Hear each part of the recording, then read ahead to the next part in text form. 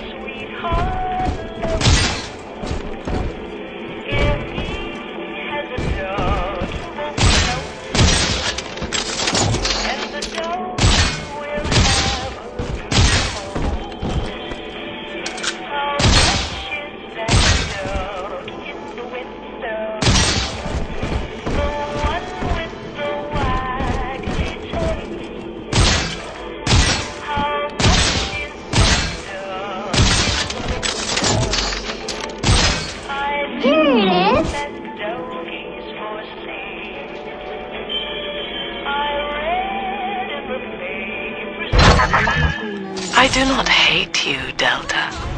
Indeed, I care for you in equal measure to any other sentient creature.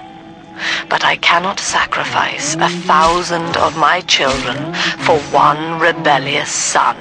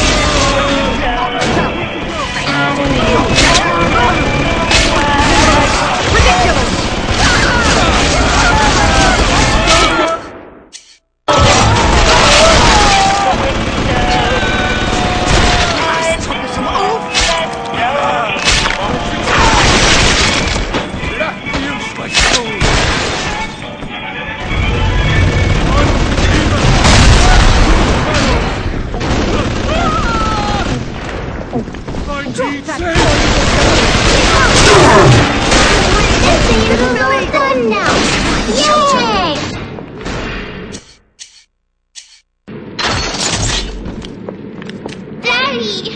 you always save me from the monsters.